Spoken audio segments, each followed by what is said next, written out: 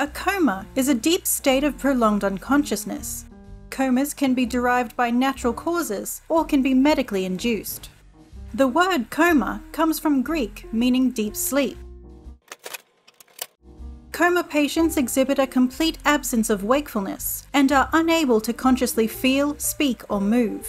General symptoms of a person in a comatose state are inability to voluntarily open the eyes, a non existent sleep wake cycle, lack of response to physical or verbal stimuli, depressed brainstem reflexes, such as pupils not responding to light, and irregular breathing. Diagnosis of coma is simple, but investigating the underlying cause of onset can be more difficult. 40% of comatose states are the result of drug poisoning. The second most common cause of coma is lack of oxygen, generally resulting from cardiac arrest. Around 20% of comatose states result from the side effects of a stroke. The remaining 15% of comatose cases result from trauma, excessive blood loss, malnutrition, hypothermia, hyperthermia, abnormal glucose levels, and many other biological disorders.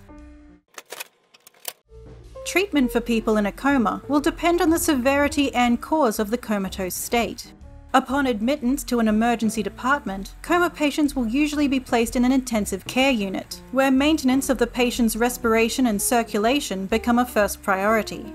Once the patient is stable and no longer in immediate danger, there may be a shift of priority from stabilizing the patient to maintaining the state of their physical well-being.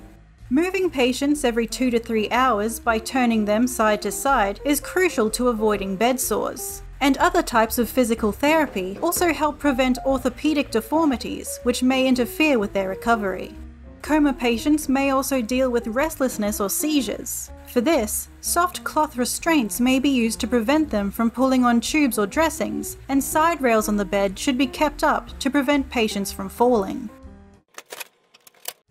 People may emerge from a coma with a combination of physical, intellectual, and psychological difficulties that need special attention. It is common for patients to awaken in a state of confusion with an inability to articulate their speech. In the first few days, patients may only awaken for a few minutes, with an increased duration of wakefulness as their recovery progresses. Some patients, however, may never progress beyond very basic responses. There are reports of people coming out of coma after long periods of time. After 19 years in a minimally conscious state, Terry Wallis spontaneously began speaking and regained awareness of his surroundings. In another case, a brain damaged man trapped in a coma like state for six years was brought back to consciousness in 2003 by doctors who planted electrodes deep in his brain. The method, called deep brain stimulation, successfully roused communication, complex movement, and eating ability in the 38 year old American man who suffered a traumatic brain injury.